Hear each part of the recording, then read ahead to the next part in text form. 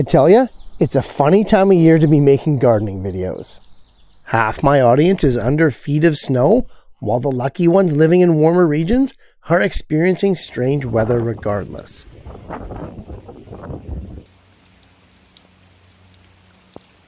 With the latest batch of quickies, we've turned to true indoor growing. Not quite ready to start this year's summer seedlings, the episodes have been concentrating on indoor herbs, fertilizing inside versus outside, and growing in our homes when the outdoors is just not feasible. I actually like this time of year because it means I get to spend more time in my greenhouse, more time planning, and more time reflecting, reflecting on things that did work and things that didn't work. So, in case you missed it, here's episodes 111 to 120. Enjoy.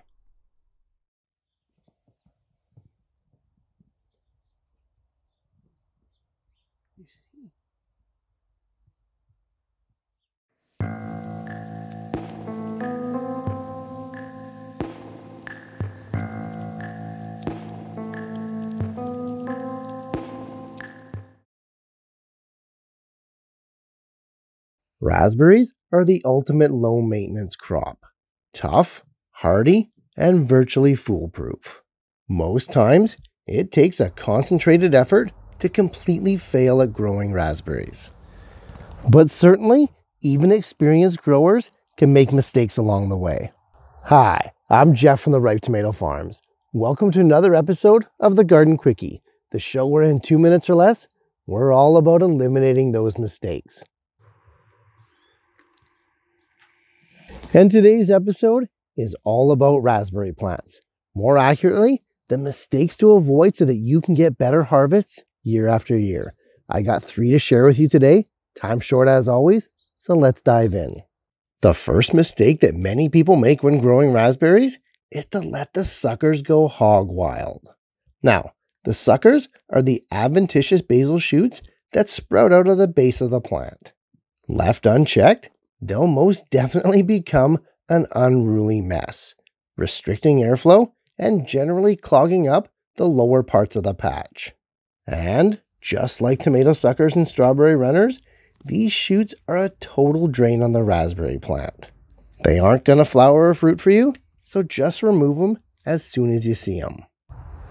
The second mistake that raspberry growers often make is not knowing what variety they have. Raspberries are a perennial crop, but with biennial shoots. June bearing raspberry plants will only produce flowers and fruits on the second year canes, ones that have already gone through a winter dormancy. Cut or prune them too early, and you won't get a single raspberry. There are everbearing types that grow fruit on the first year canes, but still, you gotta know your variety. And the third mistake that we're going to focus on today is improper pruning. Usually in the case of raspberries, this means doing it too early. New and old growers often think that pruning and winter raspberry preparation go hand in hand. In fact, the timing of pruning your raspberry patches happens much later in the winter or even into early spring. Valuable sugars and carbohydrates from the stems, even the dead and dying ones, are leached back down into the main plant. This is a necessary function for surviving winter dormancy, and ideally pruning is going to happen after the fact. We should be leaving those shoots on for as long as possible to give the mother plants the boost they need. And you know what's going to give you the boost you need? Checking out the next episode of the Garden Quickie.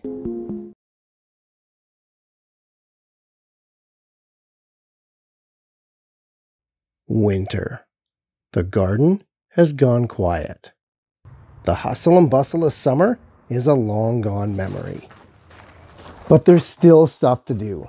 The plants may be dormant or dead, but we're not. Hi, I'm Jeff from the Ripe Tomato Farms. Welcome to another episode of the Garden Quickie, the show where in two minutes or less, we'll keep you busy no matter what the season. And today's episode is all about winter work. Specifically, I got five winter tasks that are going to make your next year's garden bigger and better and save you a ton of work in the process. Hey, time short as it always is, so let's dive in. Some winter tasks are necessary, like a general cleanup, but some are an investment for the future, future crops, and the harvest they bring. And one of my favorite winter investments is to collect and reclaim my old soil. All my spent pots, containers, seed mats, plug trays, anything that was growing something has some perfectly good soil left in it.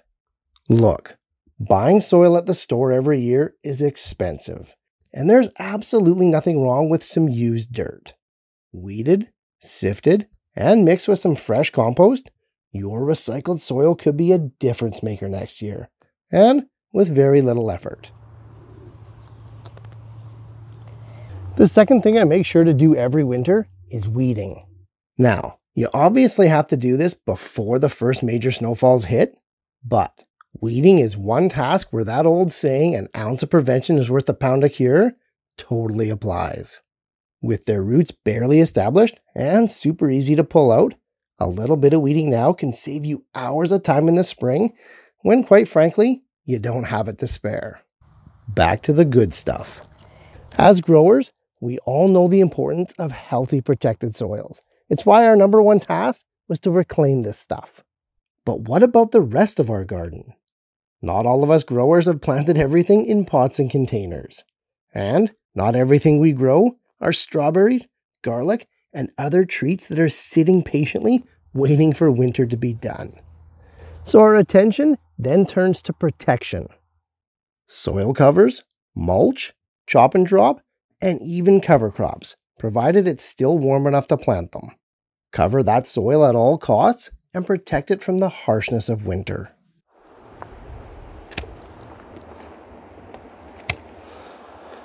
Another crucial winter task is pruning. Raspberries, grapes, and certain fruit trees are all best pruned in the winter. The cold dormant season is when this task is done, although you can wait until spring. I rarely do though, because I know just how busy I'm gonna be. And finally, our last winter task is to organize our seeds. If you've been growing a garden for more than one or two seasons, quite likely you've amassed quite an array of seed packets. It can be a good problem to have, no question, but you should always take stock of your seed inventory. As you guys may have noticed, seeds have become increasingly expensive, and that's if they're even available. Although it seems early, seed starting is amazingly just around the corner. So, with rising costs and seed shortages becoming the norm, it makes sense to take stock of what you already have. That way, you're not going to miss out next spring. Just like you're not going to miss out on the next episode of the Garden Quickie.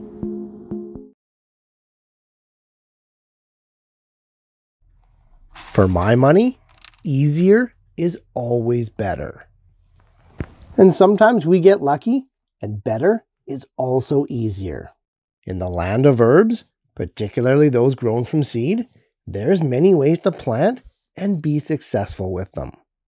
But the method I show you today works 100% of the time.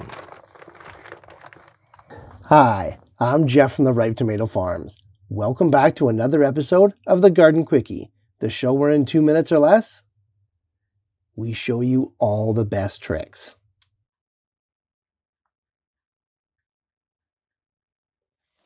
And today is all about planting your indoor herbs.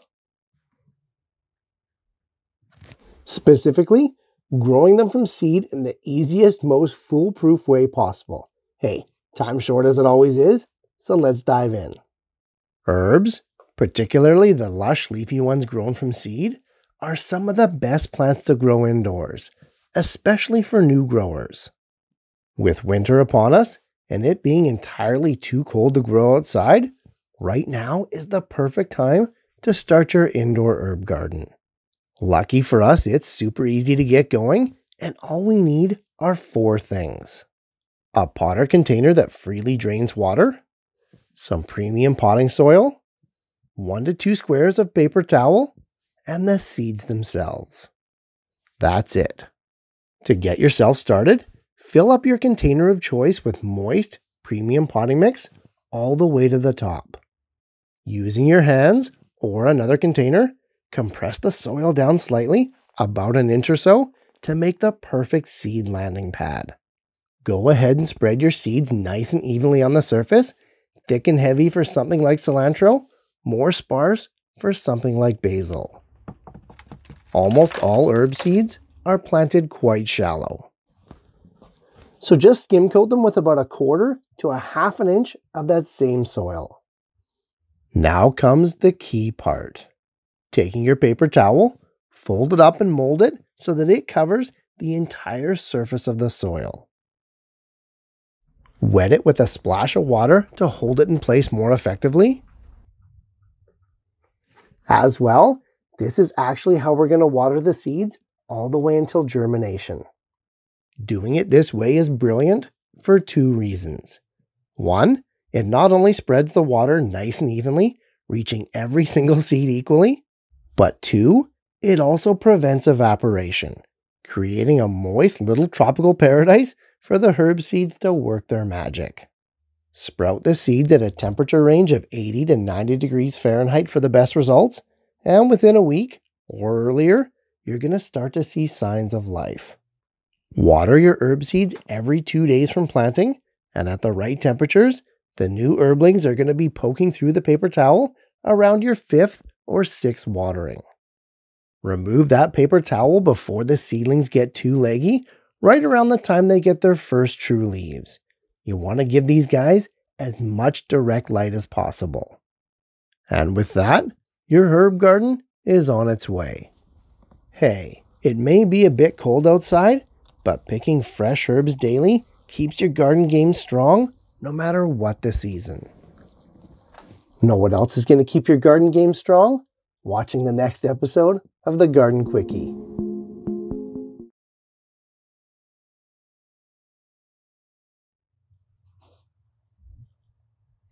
Soil pH is one of the most important parameters for plant success.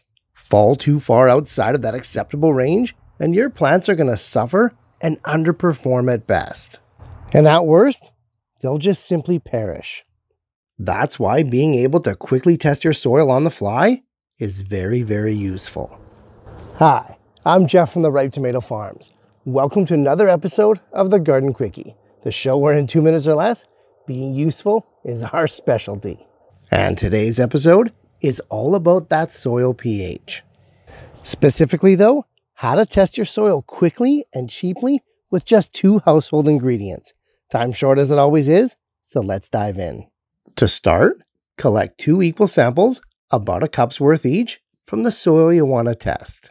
If it's a really large bed or plot of land and you believe you got some hot spots, you can collect soil from different areas. Or you can combine the soil for an overall measurement. With our soil samples collected, let's test for alkalinity or high pH first. Both the acidity and alkalinity tests work because of the principal reaction that acids and bases have when they meet. Remember back from grade school science that when an acid comes in contact with an alkaline or basic substance, bubbles form. These bubbles are in fact carbon dioxide being released from the relatively violent reaction. Therefore, all we need to do is add a sufficient amount of acid, in our case some vinegar, to that soil and watch for bubbles. If you see bubbles forming and it happens almost immediately, then you have a soil with a pH that is alkaline or greater than 7. Now, if there's no bubbles, like I'm seeing here, then we know that the soil is either neutral or already acidic. So that's great. On to the next test. For acidity, this is where our baking soda comes in. But first, we need to liquefy the soil by adding a sufficient amount of neutral water. Usually around 50% of the volume of the soil that you're testing works great. In this case, we got a cup of soil, so half a cup of water should suffice. A nice good soupy mixture is what we're after. Now, add a single heaping tablespoon of baking soda and watch for action. If the solution bubbles, then we know that we have a soil with a pH below that neutral line of 7. If nothing happens and we didn't already do that first test, then we'd have to assume that this soil is either neutral at 7 pH or already alkaline. So, it's only by combining the two tests together that we know whether or not we have an acidic or an alkaline soil. Both tests need to be done simultaneously to be able to rule the other one out. Now, these tests won't give you the exact part of the 14 point pH scale unless in fact your soil is neutral. Then you know it's 7. But it'll give you an idea of where your soil is at on the spectrum, which is massively beneficial to any grower. Know what else is massively beneficial to any grower? Checking out the next episode of the Garden Quickie.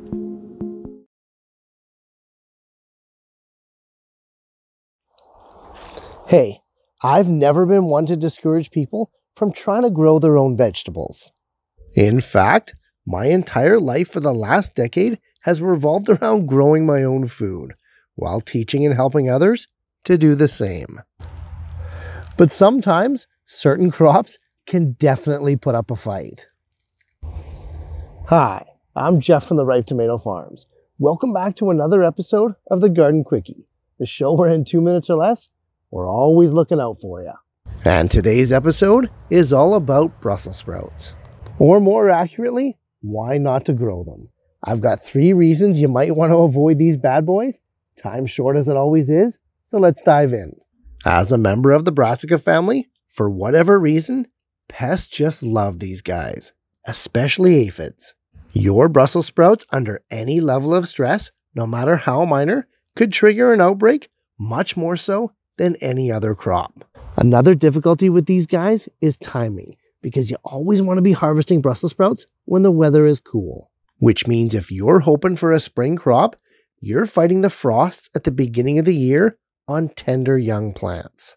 And on the flip side, if you're aiming for a fall harvest, well, those same young tender seedlings are being planted in the heat of summer.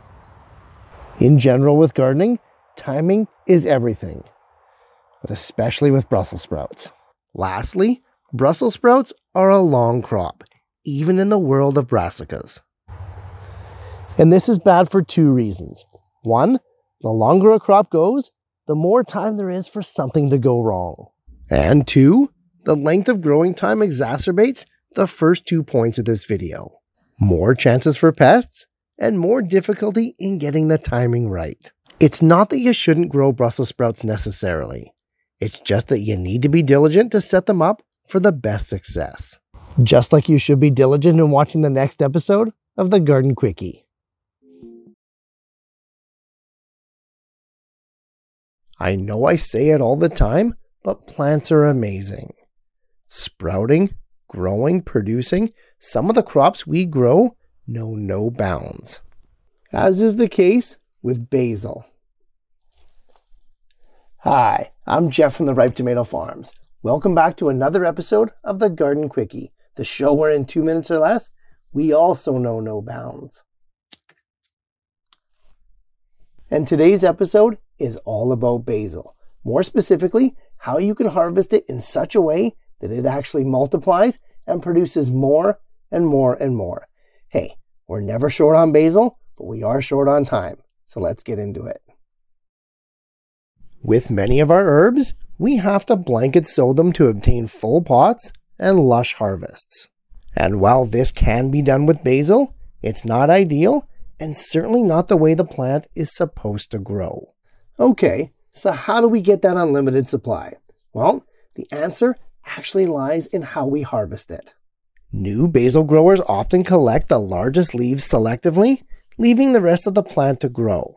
That's fine with some herbs, but with basil, all that does is leave you with a bare plant that often perishes. Instead, we need to be completely ruthless when we're harvesting our basil and cut entire tops off. It seems harsh, but as long as you keep one to two nodes on the plant remaining, each one is going to sprout exactly two new shoots in its place. This is how basil is designed to grow.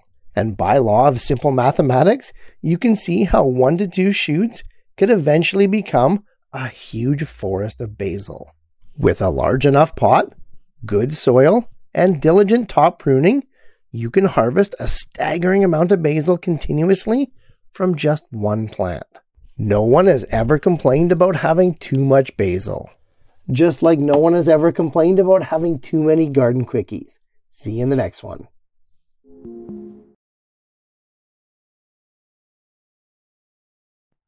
Normally, basil is a lush, impressively uniform plant with the most immaculate foliage.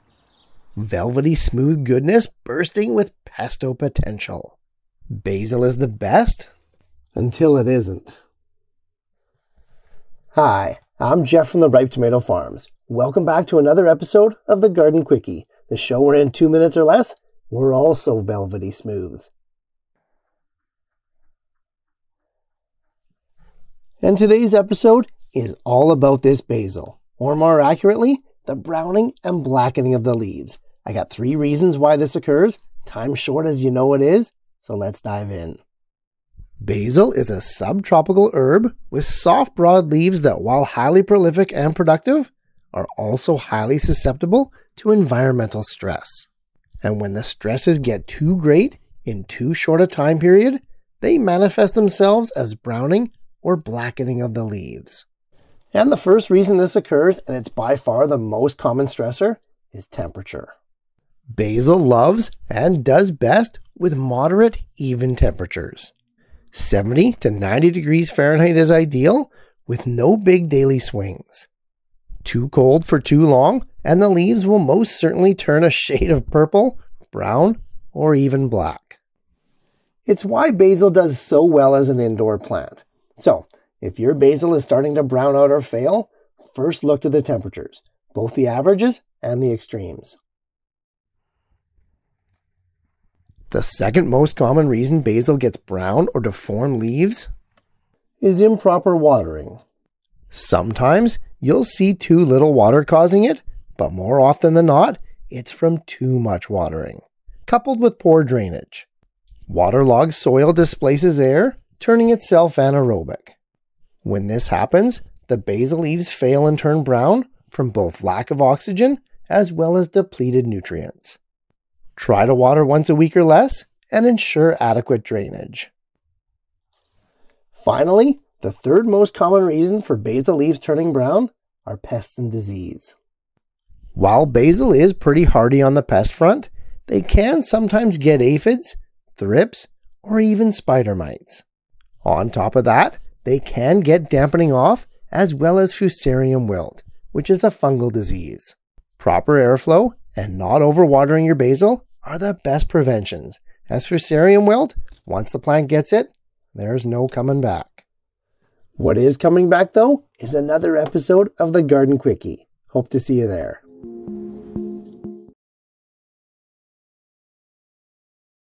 Herb seeds unlock the potential of some of our most favorite plants and start them off on this journey of their amazing life cycle. And for some crops, like the cilantro and dill here, it's the only way to grow them. But for some herbs, they have the ability to skip this step entirely, unlocking unlimited potential in the process. Hi, I'm Jeff from the Ripe Tomato Farms. Welcome back to another episode of the Garden Quickie the show we're in two minutes or less, we unlock your unlimited potential. And today's video is all about herb cuttings. More specifically, my top five herbs that allow you to skip the seeding process altogether by rooting the cuttings instead. Time short as it always is, so let's get into it.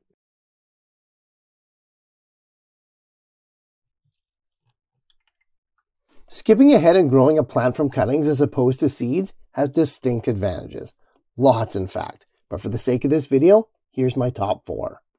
Like we said, it's faster, much faster, as you're skipping the majority of the life cycle. Two, it's cheaper, as the only requirements are usually a glass of water and the plant you already have. Three, it's often more reliable and foolproof. And finally, because the cut shoots are a direct clone of the main plant, you can choose the best genetics the best stock and keep them going. Not all herbs can do this, like we said, but those that do, do it well. And the number one plant that's the best at doing this by far is mint. Rooting mint is literally the easiest plant to do this with, and if you're just starting out and you want a plant to practice with, mint is your first choice. Another herb that many people don't know that easily roots itself from cuttings is thyme. And it makes sense because thyme is actually a member of the mint family. Being a somewhat woody perennial, it's not quite as foolproof as mint. Best done in the spring when the shoots are actively growing, try to select the new lush green shoots for the most success. If you've ever had trouble getting those tiny seeds started, thyme cuttings could be the answer for you.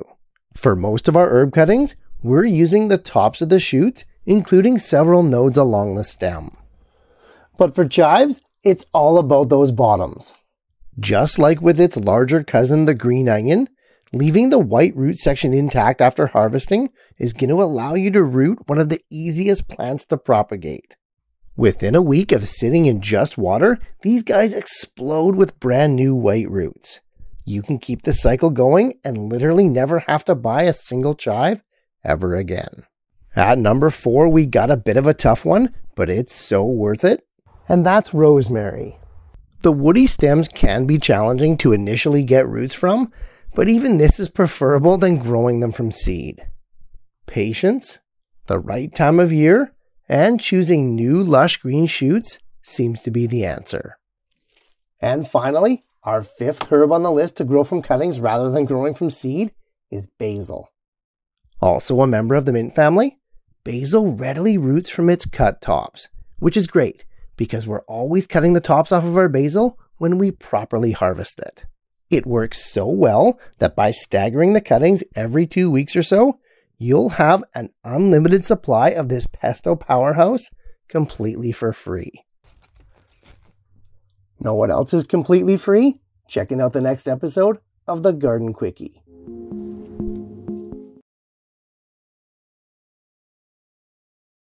The beauty of indoor herbs is that they're often the gift that keeps on giving. Harvest after harvest, they keep coming back to life to provide the bounty. But it all comes at a cost. Hi, I'm Jeff from the Ripe Tomato Farms. Welcome back to another episode of the Garden Quickie, the show where in two minutes or less, we're always for free. And today's episode is all about fertilizing and replenishing your indoor herbs. Hey, time short as it always is, so let's dive in. Growing herbs indoors, such as this little batch of oregano here, comes with a whole host of benefits. Things like moderate temperatures, no harsh weather extremes, and of course, they're virtually pest free.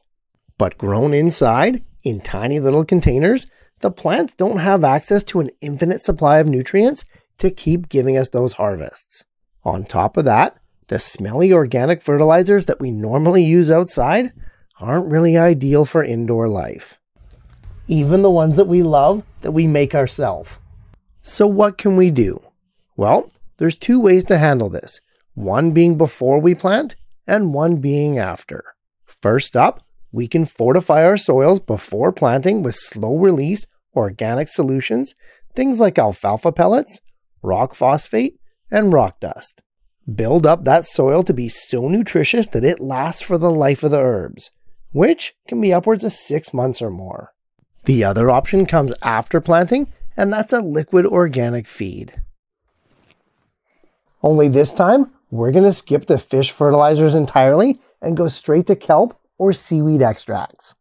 Right off the bat, there's going to be far less smell, and the array of micronutrients and trace minerals in these types of fertilizers is going to fortify the herbs to taste better and be more nutritious than ever. For NPK, you want to shoot for a balanced mix, if not slightly higher in nitrogen.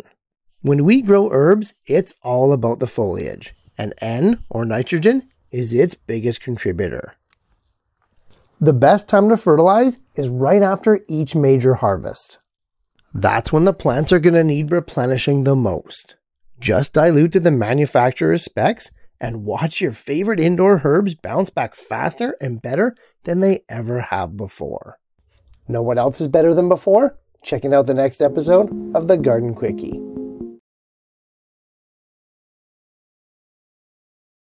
The time of year is almost here when all of us gardeners officially become residents of Crazy Town.